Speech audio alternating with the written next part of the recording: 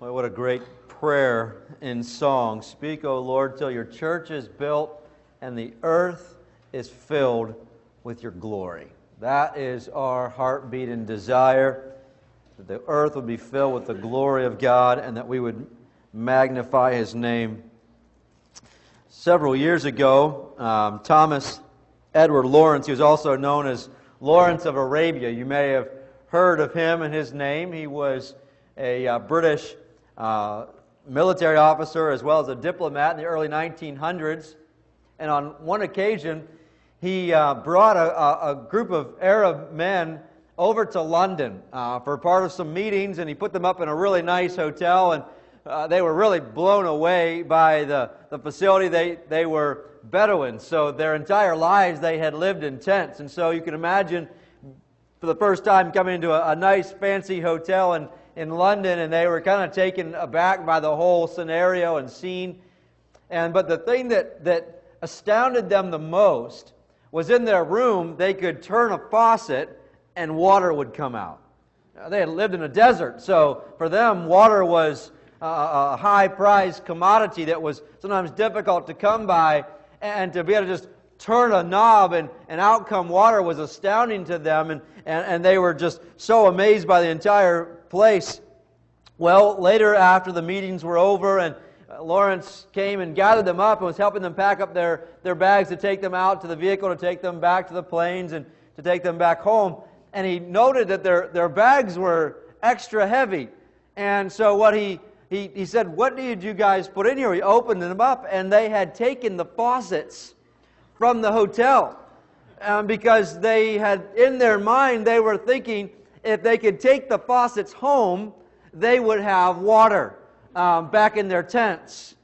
And um, obviously, he had to correct their thinking. But we, we hear that and we think, how ridiculous is that to think that we can just turn on and off something like that and, and it would, without being tied into the source, and it would actually be prosperous.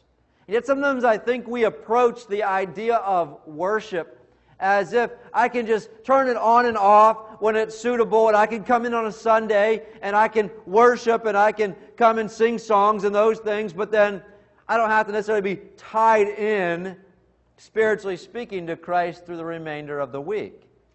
Well, it's the same idea almost to think that we could just take the faucets with us.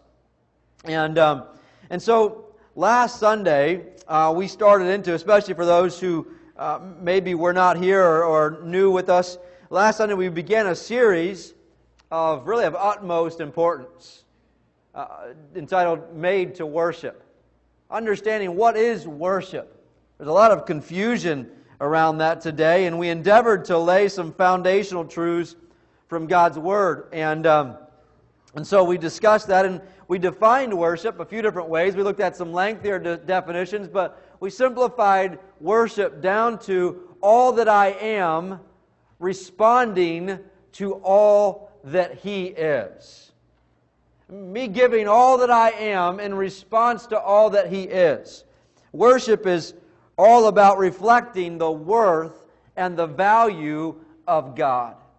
And so the more we ponder on that, the more we meditate on God, and allow that to sink in and, and to chew over who He is and, and, and to dwell with Him and abide in Him as Jesus encouraged His disciples in John 15. Out of that comes a heart of worship. And so we went last week to John chapter number 4. It's a scenario where Jesus was talking with the woman at the well. And she asks the question, you know, our, our father said that it was in Mount Gerizim is the place to worship, but you guys say that in Jerusalem at Mount Moriah is a place to worship. And, and it seemed like that he was kind of getting off track with talking about worship to this woman who really needs to get saved. But the reality is, it's not off track because God designed us and desires us to worship, and it's the heartbeat of the gospel.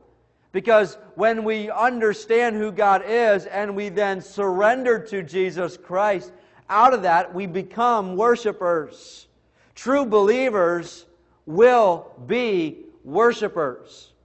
And so he talked to him, he said, he basically said to her that, that it's not about the mountain, it's not about Mount Gerizim or Mount Moriah, but there is a time coming and now is. Well, true worshipers will worship in spirit and in truth. And the Father is seeking such as to worship Him. That, that true worship isn't about the external facades. True worship isn't about, about the place. True worship isn't about it being relegated to a time block. And we talked about that, that true worship isn't simply just coming in for an hour on Sunday morning and another hour on Sunday night, and that's our worship time. It's, it's beyond that. It's in all areas of our lives. It, it works out into all areas of, of how, we, how we work for our employer, how we treat our spouse, and, and raise our children to honor God in doing that and it works out into all different areas of our lives. And so, really, it's from the heart. It presses, he presses it back to the heart. Into worship in spirit, as a heart desire and in truth about who is this God as I study him and, and meditate on him and the truth of the Word of God. And so we looked at that last week and really kind of laid that foundation. And so it's not about it's not about these external things. And um, it goes back to all the different areas of our lives. And the question then is how, how do we build that? How do we strengthen that in all areas of our lives? How do I become a worshiper at work? How do I become a worshiper in my home? How do I become a worshiper that is worshiped all week long? And then when I come and gather with God's people and we all have a similar heartbeat, we're tuned to the same tune of God, you are amazing because I've meditated on you all week, and now we get to worship together. How do I build that throughout the week? Well, the answer really is to meditate on God. You must abide in Him, to ponder on Him. If our meditation on God throughout the week is weak and tepid, then our worship will be weak and tepid. But if our worship of God and our meditation of God throughout the week if we meditate on Him and we, we ponder Him, and if that is vibrant and alive and growing, your worship of God will be alive and vibrant and strong. So last week we noted that true worship must start internal and work outward. But today I want to go beyond that as we look at the foundation, and I want to say that it is this that it is not true worship if it's only outward. In the same regards, if it never moves from the inward to the outward, then it's also missing elements of worship. Yes, it starts in the heart, but it ought to move out from there to my hands and my feet and, and my tongue to worship God in all different areas. And so that's what we're going to look at today. We want to look at worship's manifestation. Last week was worship's foundation. Today is worship's manifestation. It's not true worship, it stays only inward.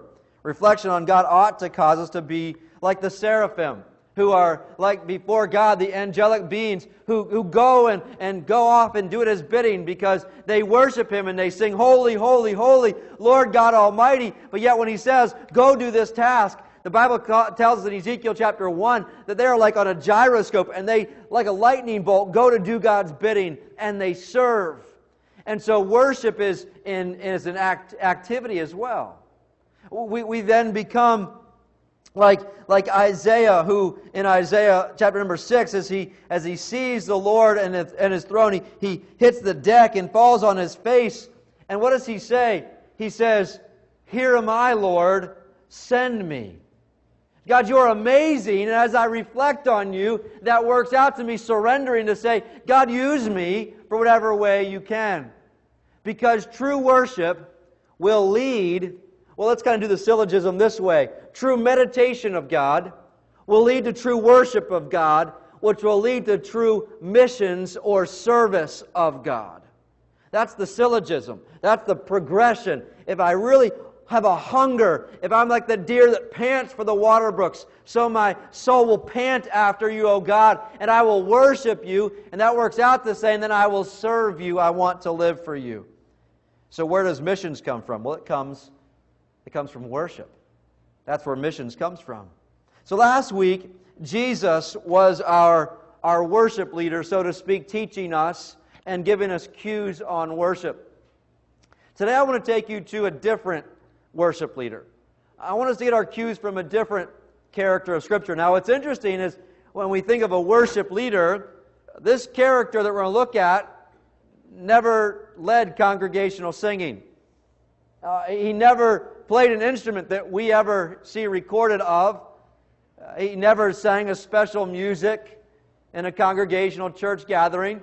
The only time we actually see him musically leading worship was after he'd been beaten and chained up and was thrown in prison. That's none other than the Apostle Paul. But the Apostle Paul gives so many cues on worship.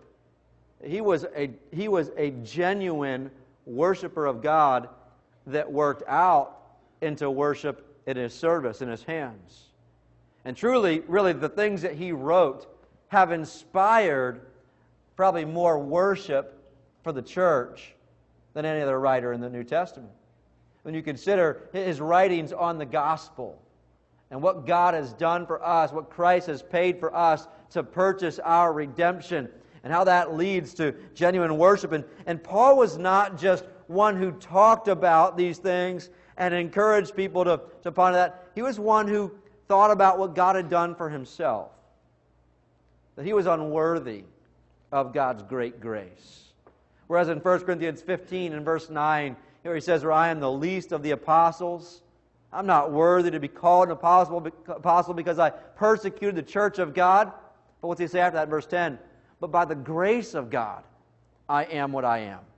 And his grace that was bestowed upon me was not in vain, yet I labored more abundantly than they all. Yet not I, but the grace of God which was with me. He says, God, you're amazing, this grace that you've given me, and it encourages me to live for you and to serve you. And so this morning I want to take you to Philippians 1. Philippians 1, verses 19 to 26. We're going to specifically look at verses 20 or 20 and 21 uh, in more detail. But here he's actually writing to the, the church in Philippi, which is Philippi was the place that he was in prison, and we, we find him actually singing with uh, uh, Silas in the prison cell. Well, now Paul is again in prison, but not in Philippi. He's in Rome, imprisoned, waiting for trial, and he's writing back to the Philippian church, a young church, a young group of believers who are starting to understand God's grace and what He has done for them. And they're concerned for their beloved Paul. They're concerned for this man who brought them the gospel, this one who taught them and, and was willing to put his life on the line to share with them the good news of Jesus Christ. And so let's, let's look back here at verse 19 and 20 and 21. He's, and so he says for them, as he's talking about his imprisonment and the difficulties of that, he says, For I know this will turn out for my deliverance through your prayer and the supply of the Spirit of Jesus Christ. Now, notice this according to my earnest expectation and hope, that in nothing I shall be ashamed, but with all boldness, as always, so now also Christ will be magnified in my body, whether by life or by death.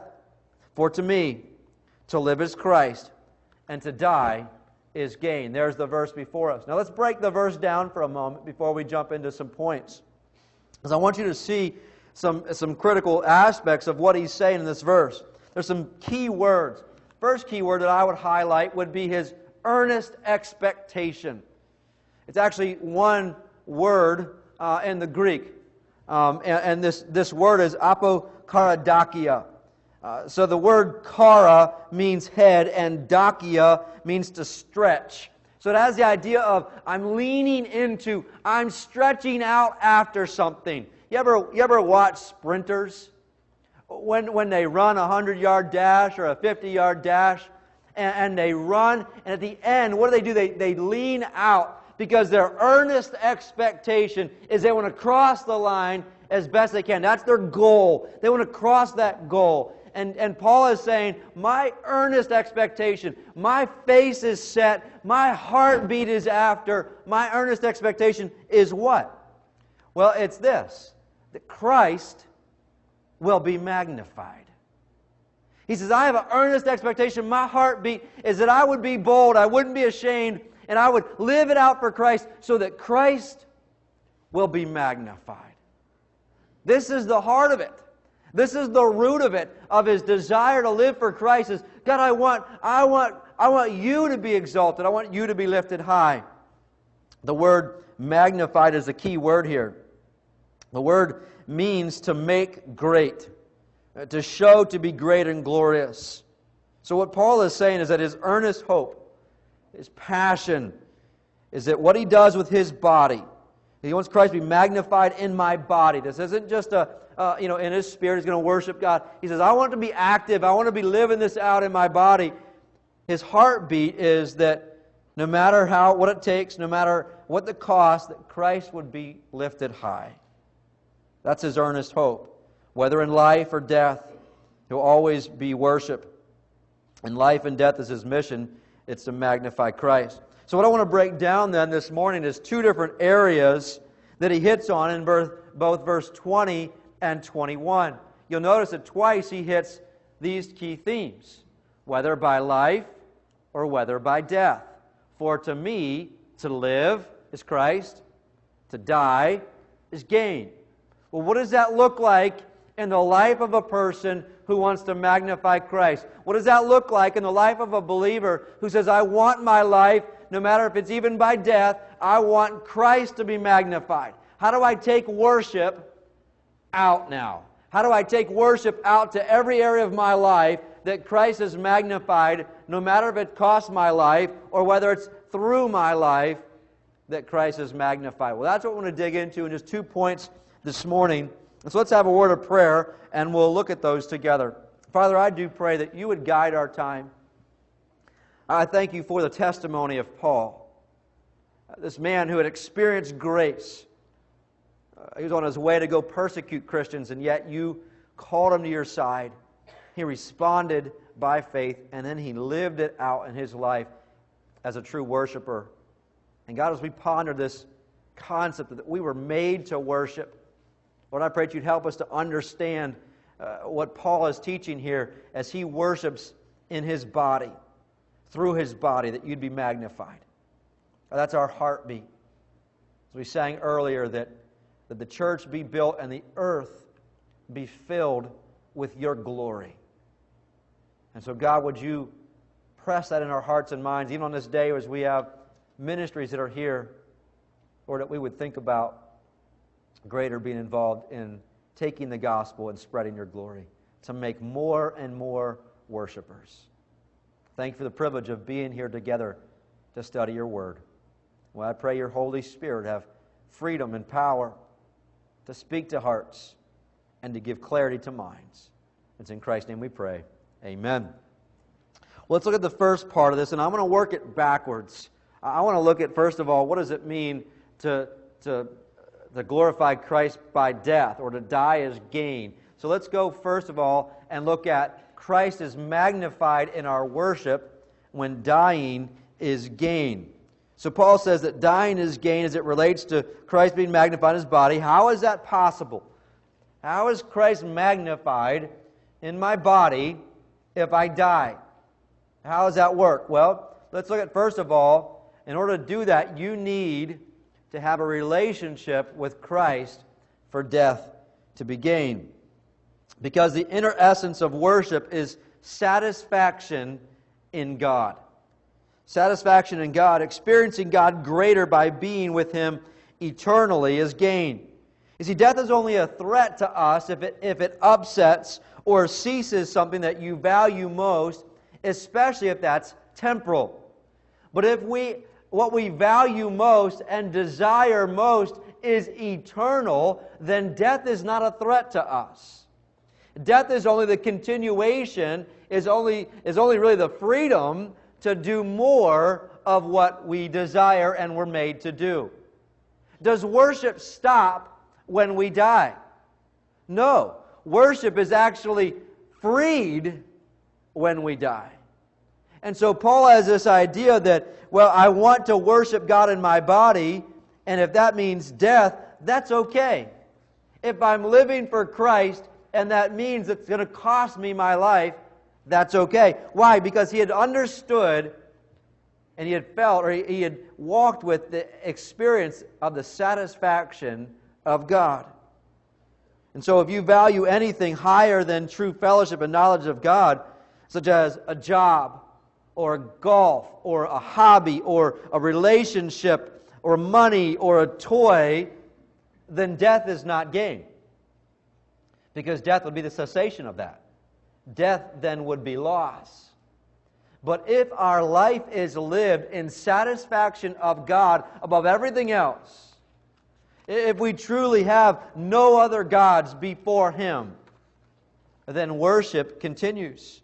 And so Paul valued Christ most. In fact, look over at verse 23. Go a little bit further down the page, where he says, For I am hard pressed between the two, having a desire to depart and be with Christ, which is far better. He says, Man, I mean, that is a desire of mine to be with Christ eternally. For true worshiper of God, death takes us uh, into a greater intimacy with Christ.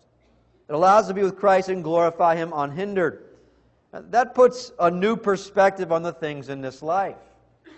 It puts a new perspective of how we're going to live and, and what really things get our excitement on this earth. I'm reminded of Elijah. Elijah is a prophet of God in the Old Testament. He's a unique character.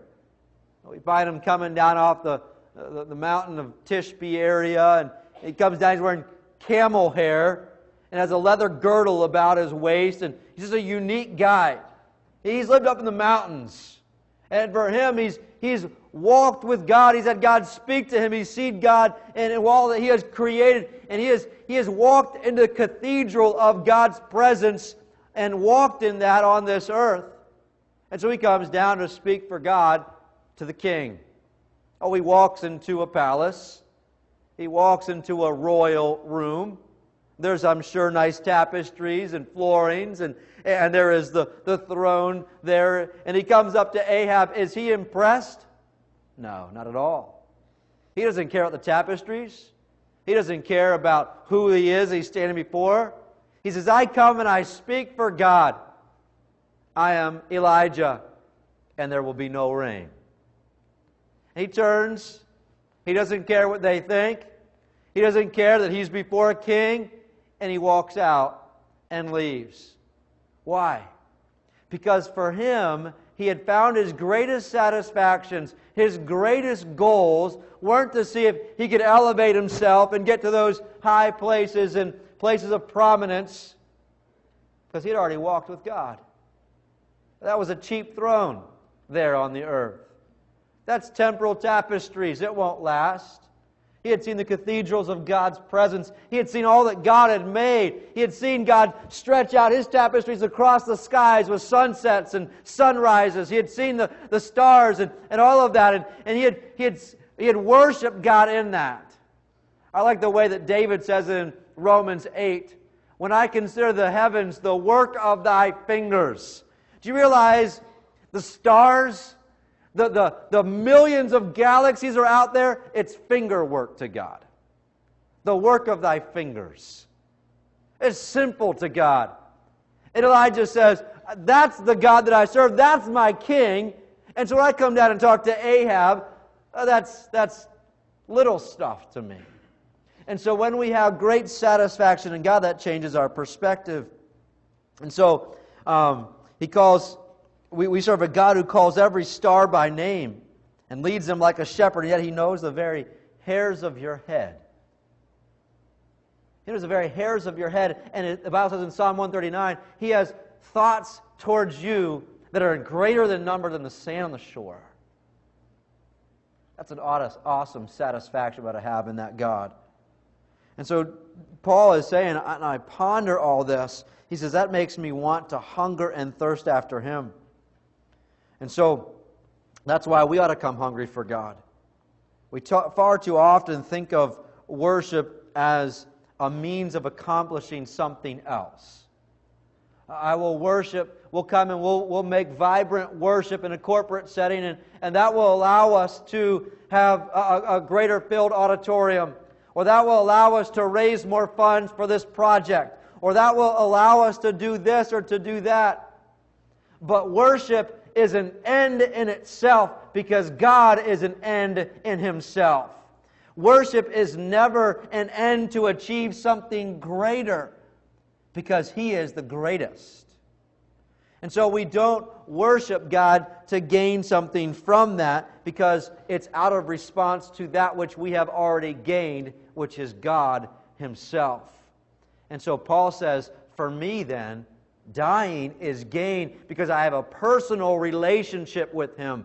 And that's where it starts. If we're going to be true worshipers of God, have a vibrancy in worship of God, it starts with a personal relationship with Him. It terminates on God.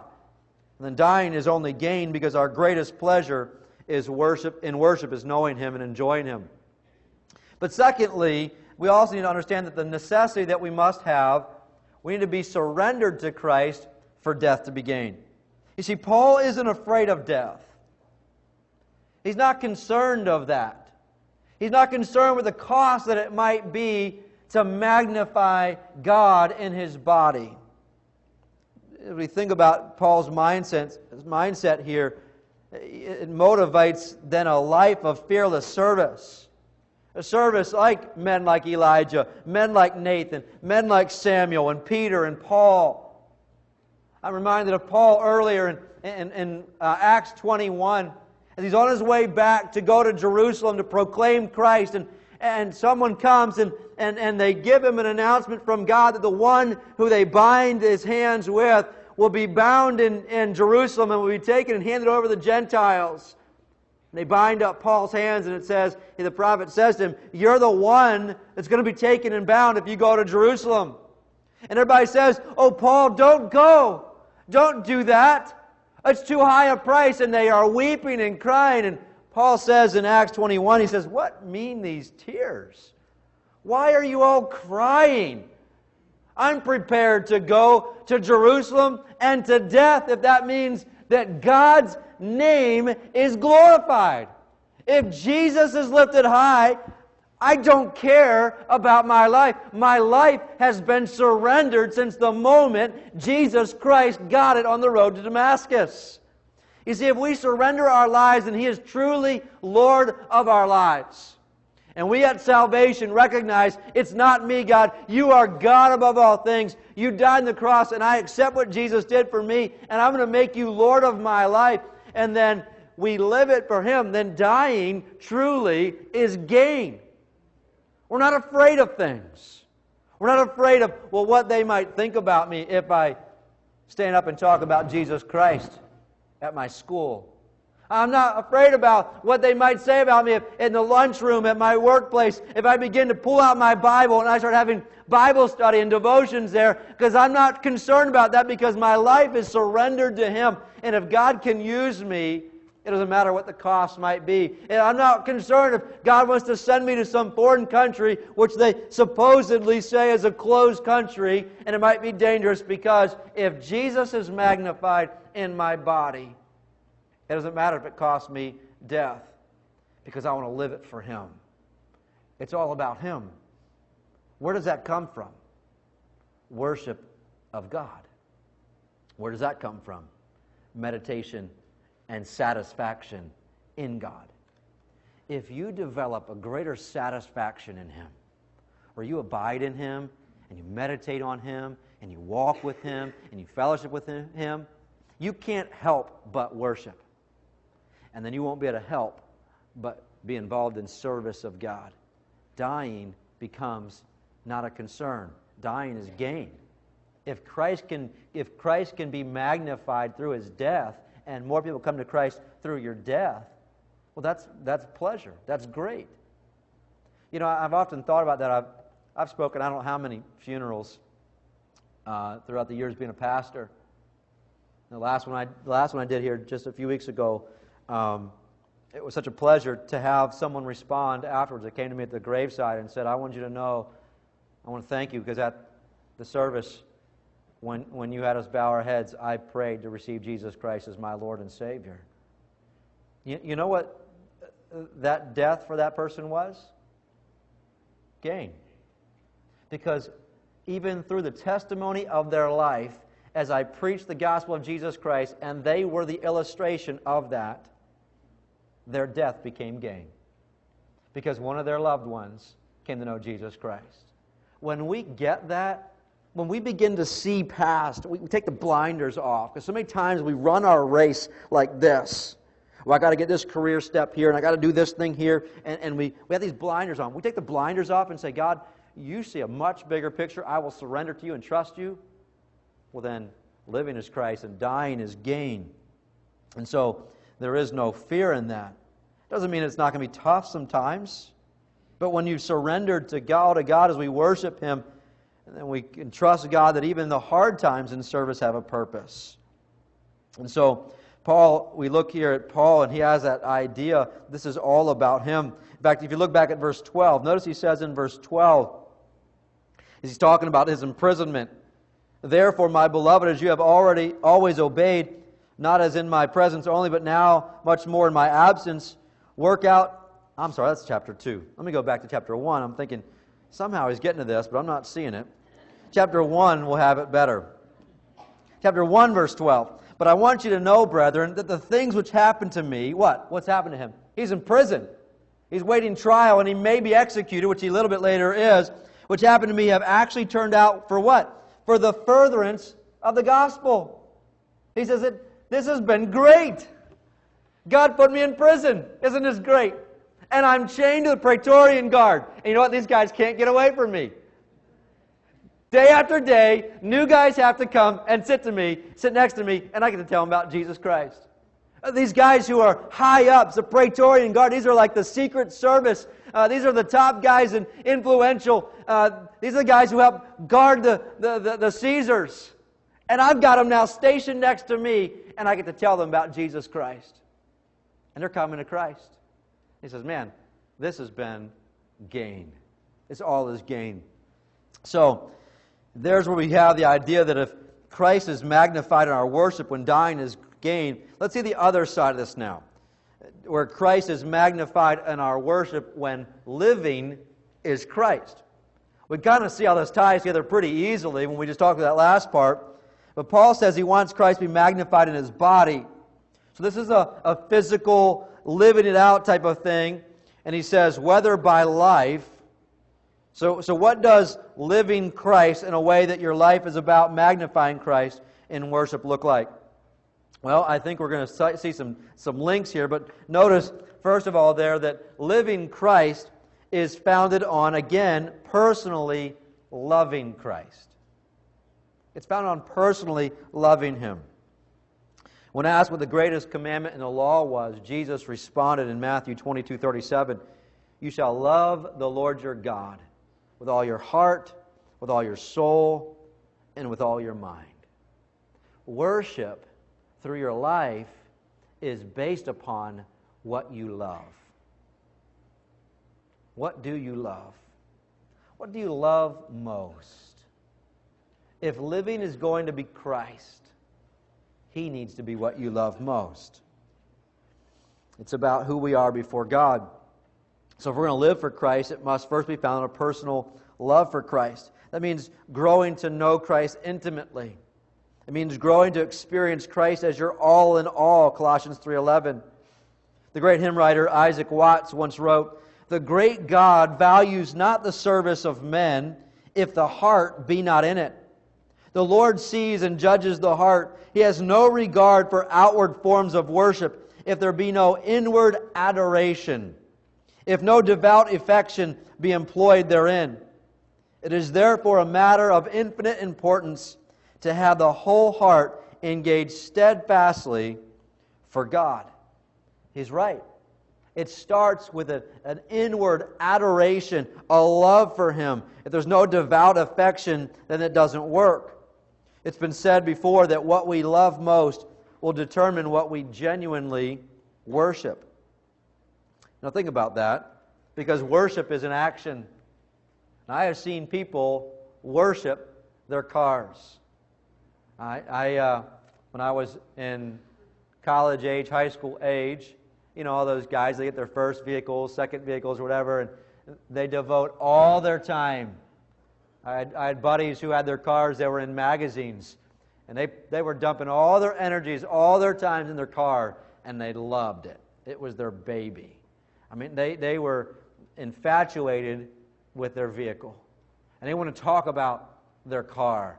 They wanted to show you their new latest things they put to their car. And they wanted to talk about how fast it could go. And they wanted to show you how they had put the air ride and it could lift up and go down. And they wanted to show you all the things it could do because it was their greatest love. You know, when Christ becomes your greatest love, you will see that worship becomes outward. What were those guys doing? Well, they were worshiping their car. And worship that's in the heart with our affections works outward. They invested their money, they invested their time, they talked about it, they lived for it. Well, if Christ is your greatest love, service of God and talking about Christ will be your greatest pleasure because worship comes out of that. So stop and consider a moment what is your what you love most. What is it that you really love most? There are things that are good for us to love. Our family, your church. Sometimes we love other things. Sometimes we, we love our technology. Sometimes we love relaxation. Not all those are bad things, but are they our loves before God? Over and over again, the Bible speaks about the dangers of idolatry, of putting anything else above and higher than God. Bob Kauflin, in his book, Worship Matters, states this God wants us to love Him more than our instruments and music, more than our possessions, food, and ministry, more than our wife and our children, more than our own lives. Jesus didn't say that we can't love anything else or that we shouldn't love anything else, but we can't love anything in the right way unless we love God more. That's a great statement. Do you realize that? You will never love your spouse in the right way unless you love Jesus Christ first and foremost. You will never love your children in the right way unless you love Jesus Christ first and foremost. So, how do, how do we know what we love most? Well, I think we have to be honest with ourselves and look seriously at our lives. Look honestly outside of the Sunday morning. Look out the week, and what do you enjoy doing most? What things bump out church? What things bump out your walk with God and daily time with Him? Where do you spend most of your time? Where does your mind drift to when you have time? Where do you spend your money on? What are you depressed without? What do you fear the most of losing? Those are good questions. And so it takes honest introspection to say, what do I really love? And Jesus said it plainly in Matthew 6:24 that no one can serve two masters. For either he will hate the one and love the other, or else he will be, the, be loyal to the one and despise the other. You cannot serve God and mammon. So if you're going to live for Christ, you need to check if you are truly in love with Christ. And that's where then we come and magnify him comes out of that. So living Christ is, first of all, is founded on a personal love for Christ. But then secondly, living Christ is fashioned on publicly proclaiming Christ. Here's where it starts to work out. Living Christ. So as we consider the whole verse of verse 20, according to my earnest expectation and hope that what? That in nothing I shall be ashamed, but with all boldness he says, I, I want to have the boldness to share Christ. So then, so now also Christ will be magnified in my body, whether by life or by death. We realize it's just another way of stating that the great goal of the Christian life, is, which is to glorify God by everything we are and do. He says, That's my heartbeat. He's talking about his witness being bold and not ashamed, and with his life proclaiming the awesomeness of Christ. So, worship is missions minded and service minded. Uh, we, we want to do everything we can to proclaim Christ. That's why we have this ministry fair today. We want you to find ways, we want to give you options and, and areas that you can say, man, I can serve Christ and talk to other people about Christ in these areas, whether it's to international students whether it's to kids who come in Bellefonte at the youth services, or whether it's going out of the nursing home and sharing with people there and, and telling them about Christ, or whether it's uh, volunteering at the local Christian academy and, and trying to minister to parents and families and kids and maybe serving lunch in the lunch line because we want to serve. We want it to be proclaiming Christ. Listen to the psalmist in Psalm 96. Oh, sing to the Lord a new song. Sing to the Lord all the earth. Sing to the Lord, bless his name. Proclaim the good news of his salvation from day to day. Declare his glory among the nations, his wonders among all people. You see how that worship is tied to proclaiming to all people? Proclaim his glory, proclaim the good news of his salvation from day to day, declare his glory among the nations, among the peoples. It's, it's linked up to worship. So, if our greatest desire is to see Christ magnified, then missions is the way we see more people become worshipers of God. So, we tell them. And we ought to serve the Lord, by the way, joyfully. You know, it's possible to be in service to the Lord and be doing it grudgingly. Well, what does that tell people about what we truly think about God? Uh, Charles Simeon said it well. He said, If you see a person grudging every labor that he performs, we naturally, naturally conclude that his task is irksome and that the master whom he serves is not, in his esteem at least, worthy of any high regard. But if we behold a person straining every nerve and exerting himself day and night in the most arduous services, and after all complaining only that he cannot perform one half of what he wishes to do for his master, we conclude, of course, that he loves both his work and his master too. The devotedness of the servant is a high and public commendation of his Lord. And so we ought to serve joyfully in the areas that we have an opportunity to serve. It's a pleasure, it's a joy. And so it's not just in our hands of service, but our whole body, he says here. I want Christ to be magnified in my body whether by life.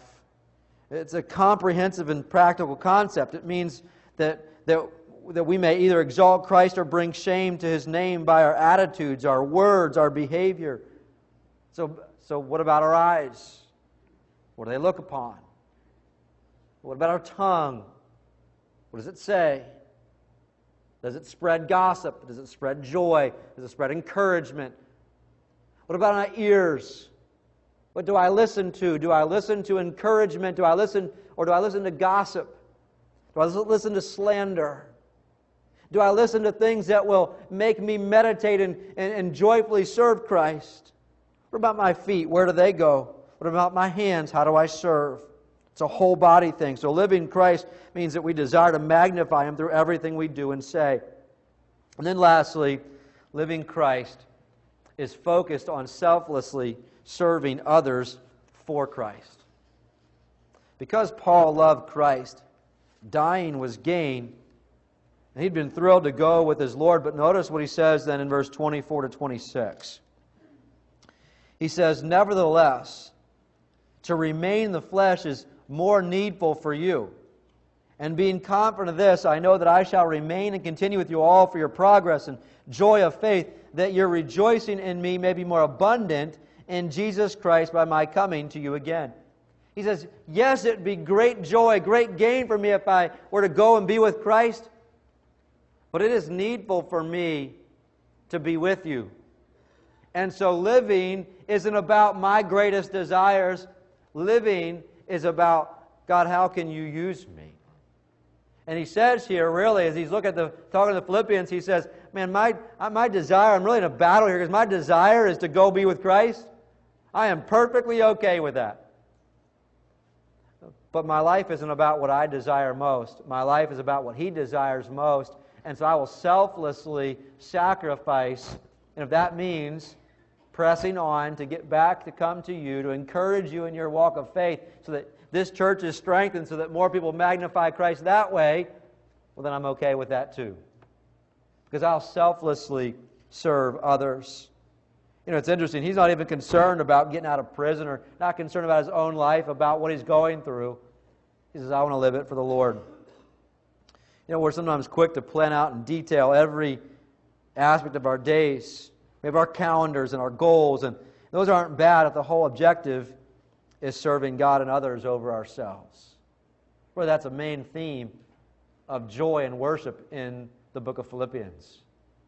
Paul had recognized this brings great joy in worship.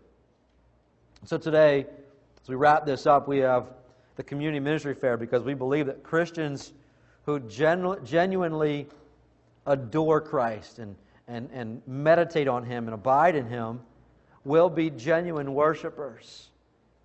That's the foundation of it.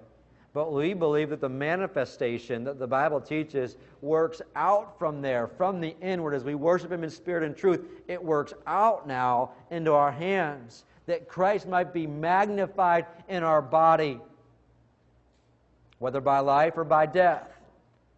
And so the aspect there is in the manifestation is in my life, as I go and do things, am I looking for opportunities to live for Christ? Am I looking for opportunities to serve others and to magnify Christ in everything that I do and where I go and that I say. Why? Because He's worthy. Because He's worthy. It all boils down to that. Worship is, to, is based upon reflecting back that which He is worthy of to the one who is worthy of it. And so we encourage you to get plugged in. We encourage you to come and serve at the day when we're, the week when we're, we're, going to be building the missions house and working on it. We encourage you to get involved in Awanas. We encourage you to get involved in, in the soup ministry. We encourage you to, to, to, to serve. Find ways to magnify God in your body. Pray about it. Look at how God's gifted you. Look at how God can use you and pray that God would lead you there. The great 100th Psalm states this Make a joyful shout to the Lord, all you lands. Serve the Lord with, good, with gladness. Come before his presence with singing. Know that the Lord, he is God. It is he who made us, and not we ourselves. We are his people and the sheep of his pasture. Let's pray. Father, we praise you that you are our God, and we are the sheep of your pasture. We praise you that you are a God who is over all things, created the stars, ordains them and leads them like a shepherd, and yet you care and know every detail about us. And God, as we, as we as a people of God, God, I pray that you'd help us to, to, to fertilize and grow and nurture our love and admiration and and just a, a, an awe of you. As we meditate on you and your goodness, your greatness, that then we would respond naturally, that it would just become natural to, to magnify you.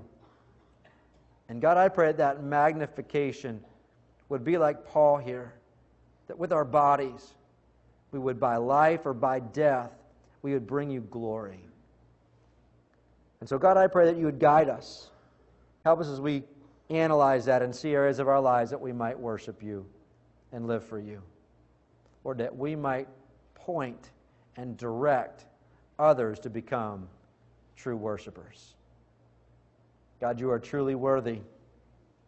You are truly worthy of all that we could give you. And we give you praise this morning. It's in Christ's name we pray. Amen.